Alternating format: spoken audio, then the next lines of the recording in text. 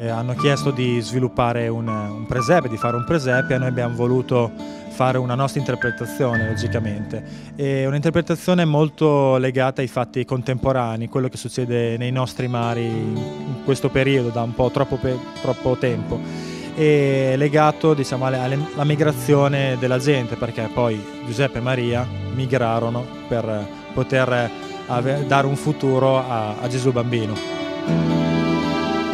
Sono tutte le, le classiche figure della natività, quindi la prima è un angelo, qui rappresentato come la figura che protegge e vigila sopra la famiglia, in questo caso è la guardia costiera, quindi la guardia costiera che, che vigila da lontano l'arrivo dei, dei migranti.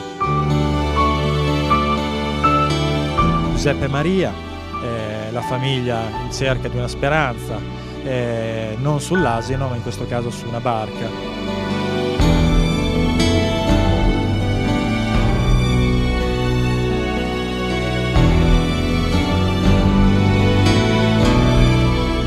il bambino non, non, nasce in una grotta, ma in questo caso in una, un'onda, in una grande onda.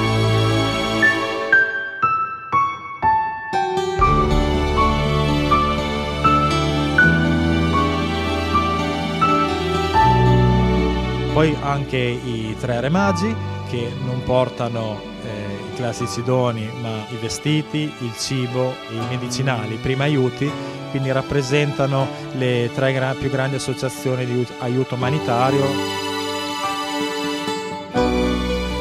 In ultimo il, ehm, il pastore che rappresenta la vita che continua eh, di fronte poi a tutti questi eventi, eh, in questa declinazione marittima è il, è il pescatore. Allora, le sculture sono fatte solo di sabbia e acqua e basta, non c'è nessuna struttura, nessun collante, niente.